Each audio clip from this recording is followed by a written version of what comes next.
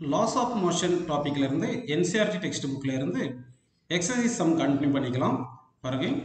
Two masses eight kilogram and twelve kilogram are connected at the two ends of a light inextensible string that goes over a frictionless pulley Find the acceleration of the masses and the tension in the string when the masses are released அப்படின்னு சொல்லியிருக்காங்க. இப்போ வந்து என்ன பண்ணலாம்னா ஒரு புள்ளி எடுத்துக்கலாம் நம்ம. இதான் வந்து ஒரு புள்ளி. இந்த புள்ளி வந்து என்ன பண்ணியிருக்காங்கன்னா ரூப்புக்கு வந்து இப்படி கனெக்ட் பண்ணி வச்சிருக்காங்க. இந்த ரூ இந்த புள்ளி மேலே வந்து ஒரு மாஸ்லெஸ் இன்எக்ஸ்டென்சிபிள் ரோப் வந்து பாஸ் ஆகுது. இந்த புள்ளியை மாஸ்லெஸ் ஃப்ரிக்ஷன்லெஸ் புள்ளி அப்படின்னு எடுத்துக்கலாம். இப்போ வந்து இது என்ன பண்ணலாம்னா இது வந்து மாஸ் வந்து எம் ஒன்னு எடுத்துக்கோங்க. இங்கே வந்து இது மாஸ் எம் டூன்னு கனெக்ட் பண்ணியிருக்கோன்னு எடுத்துக்கப்போம் அப்படி எடுத்துருந்தீங்கன்னா இங்கே இந்த எம் டூ ஜி வந்து டவுன்வர்ட் டைரக்ஷனில் ஃபோர்ஸ் ஆக்ட் ஆகிருக்கும் அதே மாதிரி இங்கே எம் ஒன் ஜி டவுன்வர்ட் டைரக்ஷனில் ஃபோர்ஸ் ஆக்ட் ஆகிருக்கும் இந்த எம் டூ ஜி புள்ளியை புல் பண்ணியிருக்கோம். டென்ஷன் டீன் வந்திருக்கும். அது ஆக்சுவல் புள்ளி வந்து எம் டூவை புல் பண்ணியிருக்கோம். இது ரியாக்ஷன் அப்படின்னு எடுத்துக்கலாம். அதே மாதிரி எம் ஒன் ஜியும் இந்த புள்ளி எப்படி புல் பண்ணோம் டென்ஷன் டீன் எடுத்துங்க. இந்த புள்ளியும் இந்த எம் ஒன்னை வந்து ரியாக்ஷனில் புல் பண்ணியிருக்கோம். அப்படி டீன் எடுத்துக்கோங்க. இப்படி எடுத்தீங்கன்னா இந்த சிஸ்டம்னு எடுத்தோம்னா என்ன ஆகும்னா ஒரு இப்போ நம்ம கன்சிடர் பண்ணலாம் பாருங்கள் இதை வந்து ஒரு சிஸ்டம்னு எடுத்துக்கிட்டு இருந்தீங்கன்னா இந்த டென்ஷன் டி எல்லாம் இன்டர்னல் ஃபோர்ஸ் அதனால டோட்டல் ஃபோர்ஸ் ஜீரோன்னு வந்துடும் அப்போ எக்ஸ்டர்னல் ஃபோர்ஸ் வந்து இது M two G and M one G மட்டும் ஆக்ட் ஆகிற மாதிரி நம்ம எடுத்துக்கலாம். அப்படி எடுத்தீங்கன்னா வந்து அப்போ இந்த எம் டூ அதிகமாக இருக்கு. அப்போ எம் டூ வந்து டூ கிலோ டுவெல் கிலோகிராம் கொடுத்துருக்காங்க. எம் ஒன் வந்து எயிட் கிலோகிராம் கொடுத்துருக்காங்க. அப்போ M two G greater than M one G இருக்கிறதுனால எம் டூ வந்து டவுனோட ஆக்சலரேட் ஆகும். எம் ஒன் வந்து அப்போட ஆக்சலரேட் ஆகும். ஏன்னா ஸ்ட்ரிங் வந்து eh, ஸ்ட்ரெச்சபிள் கிடையாது.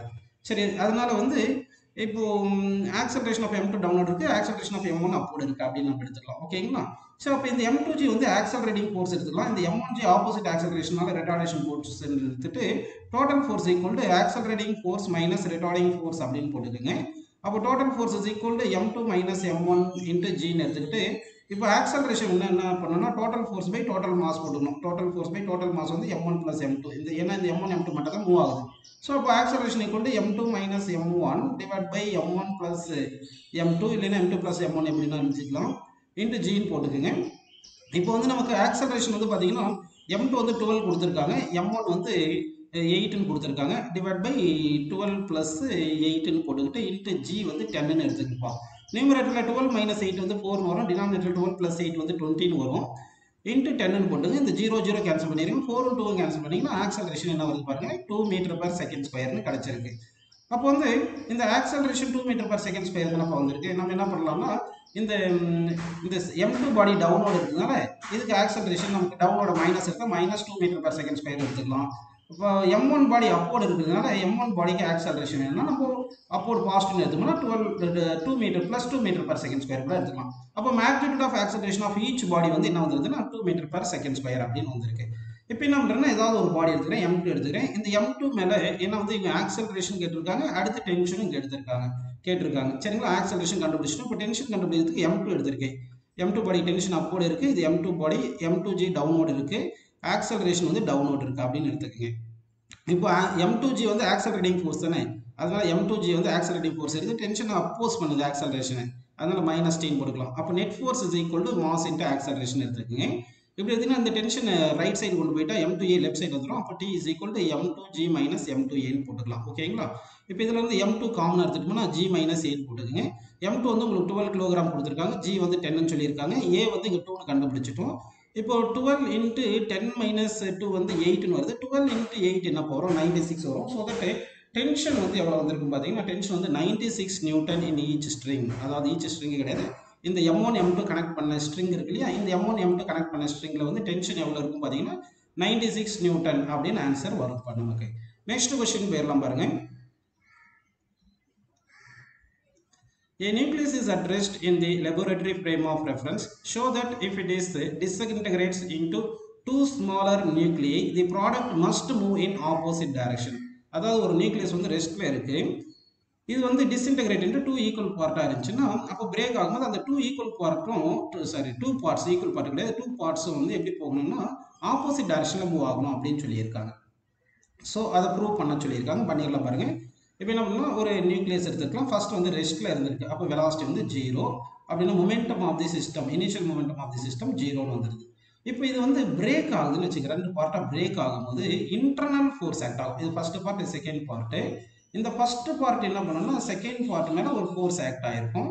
அது force on second by first one that is action for every action there is an equal and opposite reaction first மேலே வந்து செகண்ட் பாடி எக்ஸைட் பண்ணியிருக்கோம். இது வந்து இன்டர்னல் ஃபோர்ஸ் இந்த இன்டர்னல் ஃபோர்ஸ் பார்த்தீங்கன்னா பேராக இருக்கும் ஈக்குவல் அண்ட் ஆப்போசிட்டாக இருக்கும். அப்போ ஈக்குவல் அண்ட் ஆப்போசிட்டாக இருக்கிறதுனால total force on the system வந்து ஜீரோ வந்துடும் அப்போ external force on the system ஜீரோன்னு இருந்தது.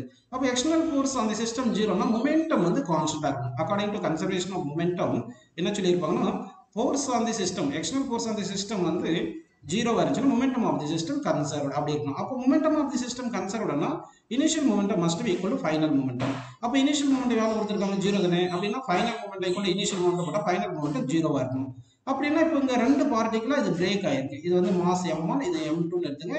ஃபர்ஸ்ட் பார்ட்டிகல் வி ஒன் வெலாஸ்டில் போகுது. செகண்ட் பார்ட்டிகல் வி டூ வெலாஸ்டில் போகுதுன்னு எடுத்துக்கிட்டோம்னா final momentum of the system வந்து என்ன பண்ணுறோன்னா momentum of the first particle plus momentum of the second particle equal to 0 பண்ணோம். அப்போ momentum of the second particle equal minus of momentum of first first வருது. அப்போ momentum of second particle equal to minus of momentum of first பார்ட்டிகல்னா momentum of second particle என்னது? M two v two is equal to minus m one v one அப்படின்னு வந்துருது. இங்க m2வும் m1ம் positive தான்ப்பா.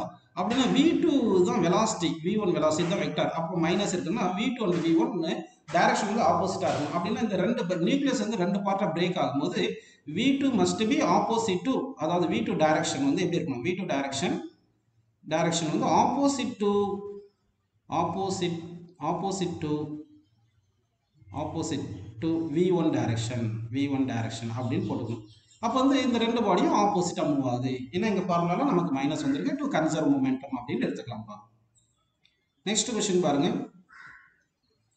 two billiard balls each of mass zero point zero five kilogram moving in opposite directions with speed six metre per second collide and rebounds with the same speed what is the impulse imparted to each ball due to the other அப்படின்னு கேட்டிருக்காங்க.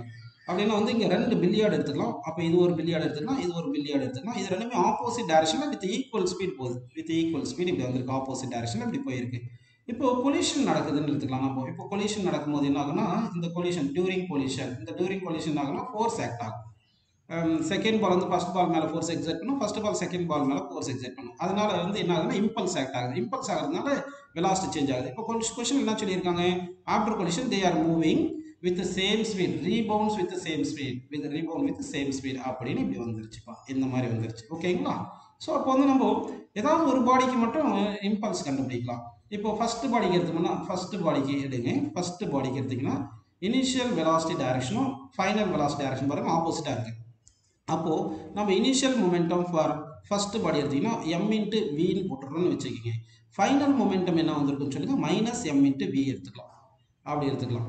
சரிங்களா? அப்படி எடுத்துக்கலாம். இதே மாதிரி second பாடிக்கு எடுத்திருந்தீங்கன்னா second பாடிக்கு எடுத்தா இனிஷியல் மொமெண்டம் என்ன வந்துருக்கு பாருங்க. இனிஷியல் மொமெண்ட் வந்து மைனஸ் எம் இன்ட்டு வி இல்லை ஏன்னா வெலாசிட்டி வந்து நெகட்டிவ் எக்ஸ் டேரக்ஷன் இருக்குன்னு அச்சீவ் பண்ணிக்கலாம் இது வந்து என்ன வந்து ஃபைனல் மொமெண்டம் பாருங்கள் செகண்ட் பில்லியார்டுக்கு ப்ளஸ் எம்பின்னு போட்டுக்கோங்க. அப்போ சேஞ்ச் இன் மொமெண்டம் தான் impulse impulse address change in momentum அப்போ impulse equal to final momentum minus initial momentum போட்டிங்கன்னா அப்போ செகண்ட் பாடிக்கு வந்து எம்வி மைனஸ் போட்டு initial momentum minus m v போட்டால் அப்போ டூ எம்பின்னு வருதா? அப்போ டூ எம்பின்னு வந்திருக்கு. அப்போ டூ இன்ட்டு மாஸ் எவ்வளோ பாருங்கப்பா? ஜீரோ பாயிண்ட் ஜீரோ ஃபைவ்னு கொடுத்துருக்காங்களா? அப்போ ஜீரோ பாயிண்ட் ஜீரோ ஃபைவ்னு கொடுத்துட்டாங்க.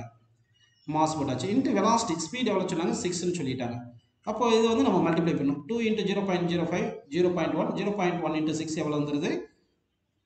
ஜீரோ பாயிண்ட் சிக்ஸ்னு வந்துடுது ஓகேங்களா அப்போ எல்லாம் வந்து நமக்கு ஆன்சர் என்ன வந்திருக்கு பாருங்க? ஜீரோ பாயிண்ட் சிக்ஸ் யூனிட் வந்து கிலோகிராம் மீட்டர் பர் செகண்ட் அப்படின்னு வந்திருக்கு. கரெக்டுங்களா இதுதான் இம்பல்ஸ் செகண்ட் பாடிக்கு இதே ஃபர்ஸ்ட் பாடிக்கு எடுத்துருந்தா என்ன வந்திருக்கும் சொல்லுங்க? இம்பல்ஸ் சேஞ்ச் இன் மொமெண்டம் தானே?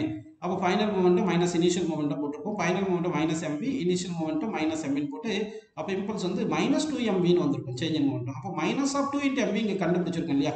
ஜீரோ பாயிண்ட் சிக்ஸ் போட்டுக்கலாம் அப்படின்னு வந்துருது. அப்படின்னா இம்பல்ஸ் ஆக்டட் வந்து ஃபஸ்ட்டு பாடிக்கும் second பாடிக்கும் magnitude equal but in opposite direction அப்படின்னு so the two impulses are in opposite direction அப்படின்னு ஆன்சர் வந்திருக்குப்பா நெக்ஸ்ட் கொஸ்டின் பாருங்க A shell of mass 0.02 kg is fired by a gun of mass 100 kg if the muzzle speed of the shell is 80 meter per second. What is the recoil speed of the gun அப்படின்னு கேட்டிருக்காங்க. அப்போ வந்து ஒரு கன் எடுத்து ஷெல்லை fire பண்ணியிருக்காங்க. First வந்து இந்த என்ன பண்ணலாம் இது ஒரு கன் அப்படின்னு அஜிம் பண்ணிக்க இதுலேயே ஷெல் இருக்குன்னு அஜிம் பண்ணிக்கிங்க.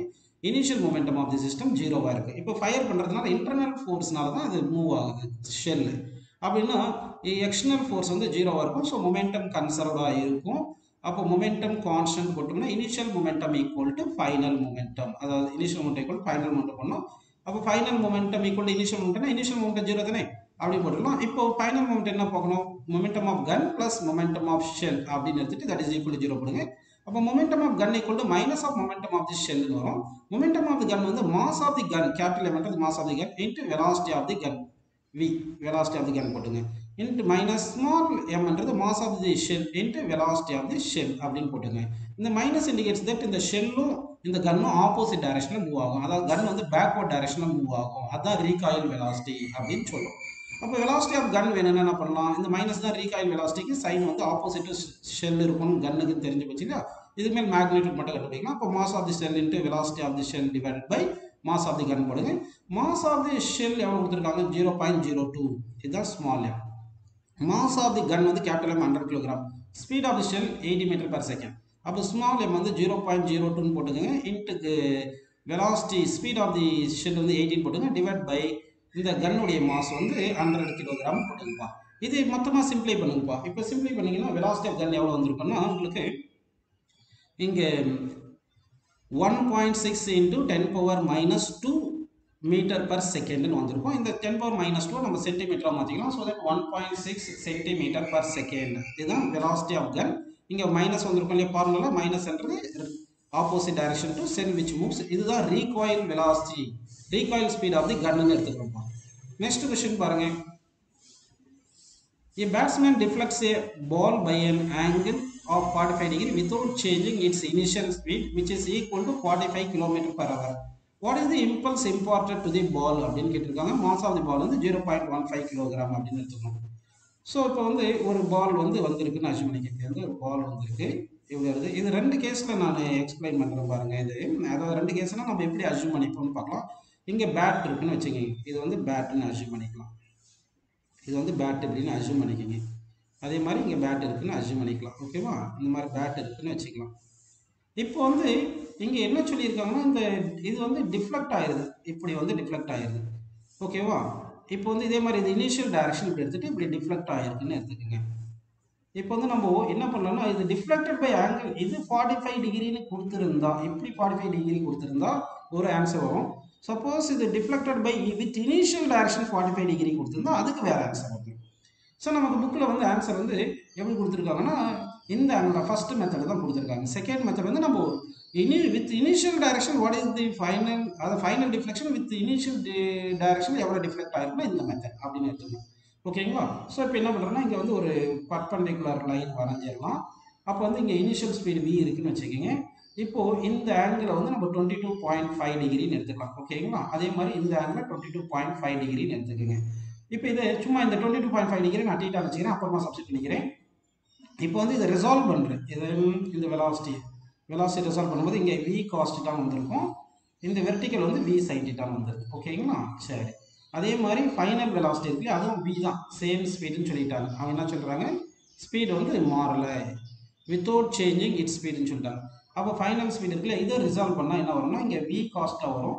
இது வி சைட்டிட்டான்னு வந்திருக்கும். ஓகேங்களா இப்போ பார்த்தீங்கன்னா வெர்டிக்கல் காம்பனண்ட்டுடைய டேரக்ஷன் மாறல. ஆர்ஜானிக் காம்பனண்ட் மட்டும் பாருங்க. இனிஷியலாக பாசிட்டிவாக இருந்து ஃபைனலாக நெகட்டிவாக வந்திருக்கு. ஆப்போசிட் டேரக்ஷன் இருக்கு.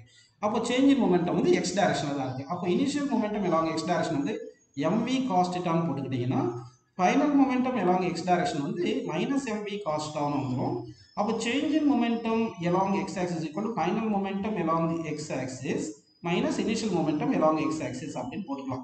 அப்போ சேஞ்ச் இன் ஒன்று வந்து மைனஸ் டூ எம்பி காஸ்டான்னு வந்துடும் மேக்னிடியூட் மட்டும் வேணும்னா அந்த மைனஸ் எடுத்துக்கலாம். இந்த சேஞ்ச் இன் மொமெண்டம் தான் இம்பல்ஸ் எலாங் எக்ஸ் ஆக்சிஸ் அப்போ இம்பல்ஸ் எலாங் எக்ஸ் ஆக்சிஸ் வந்து two m v cos theta மேக்னிடியூட்ல அப்படி எடுத்துக்கலாம். டூ இன்ட்டு மாஸ் எவ்வளோப்பா ஜீரோ பாயிண்ட் ஒன் ஃபைவ் கொடுத்துருக்காங்க. ஸ்பீட் எவ்வளோ கொடுத்துருக்காங்க?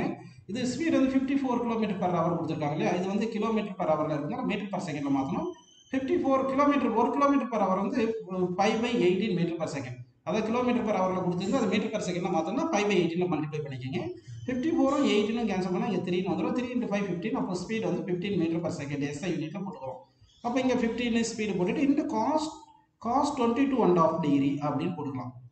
ஸோ இது எல்லாமே நம்ம சிம்ப்ளை பண்ணோம்னா நமக்கு ஆன்சர் எவ்வளோ பார்த்தீங்கன்னா approximately four point one seven five அப்படி இருக்கும் இதை ரவுண்ட் ஆஃப் பண்ணோம்னா இம்பல்ஸ் வந்து ஃபோர் பாயிண்ட் டூ யூனிட் வந்து கிலோகிராம் மீட்டர் பர் செகண்ட் அப்படின்னு வந்திருக்குப்பா. அப்படின்னு நம்ம எடுத்துக்கலாம். ஓகேங்களா ஸோ இது வந்து எக்ஸ் டைரக்ஷன் வந்திருக்கு.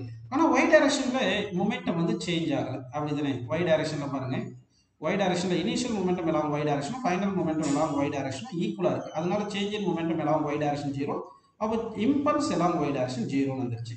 ஸோ இந்த ஆன்சர் புக்கில் கொடுத்துருக்காங்க. சப்போஸ் நம்ம என்ன பண்ணுறோன்னா வித் இனிஷியல் டைரக்ஷன் ஃபைனலாக இருக்கிறது டிஃப்ளெக்ட் ஆனது ஃபார்ட்டி ஃபைவ் டிகிரி அப்படின்னு இருந்தா அப்போ இந்த ஆங்கிள் வந்து எவ்வளோ வந்திருக்கோம்னா ஒன் எயிட்டி மைனஸ் ஃபார்ட்டி ஃபைவ்னு வந்திருக்கும்ப்பா இந்த ஆங்கிள் அப்போது இந்த ஆங்கிள் எவ்வளோ வந்திருக்கும்? Ninety minus twenty two and half டிகிரின்னு வந்திருக்கும். அப்போ வந்து அப்படியே இந்த டீட்டா பிளேஸில் போடும்போது நம்ம என்ன போட்டிருப்போம்னா இம்பல்ஸ் வந்து எக்ஸ் டைரக்ஷனில் ஏன்னா ஒய் டைரக்ஷன் சேஞ்ச் ஆகாது எக்ஸ் டைரக்ஷன் வந்து அதுக்கு என்ன பண்ணுறோம்னா minus two m v cos ninety minus twenty two and half twenty two and half அப்படின்னு போட்டிருப்போம். அப்படி போட்டிருந்தா அப்போ I x is equal to minus விட்டுலாம் மேக்னெட் பண்ணி பாருங்க. Two m v cos ninety minus sine sine twenty two and half டிகிரின்னு வந்துடும் twenty two and half degree வந்திருக்கும். இதை சிம்ப்ளை பண்ணியிருந்தீங்கன்னா two into mass point one five into speed வந்து நம்ம fifteen போட்டு இந்த sine twenty two and half அப்படின்னு போட்டிருந்தோம்னா வச்சுங்க sine twenty two and half degree போட்டிருந்தா இது சிம்லி பண்ணியிருந்தா அந்த இம்பல்ஸ் வந்து எவ்வளோ கிடச்சிருக்கு nearly one point seven two அப்படின்னு ஆன்சர் கிலோகிராம் மீட்டர் பர் செகண்டில் ஆன்சர் கிடச்சிருக்கும்பா.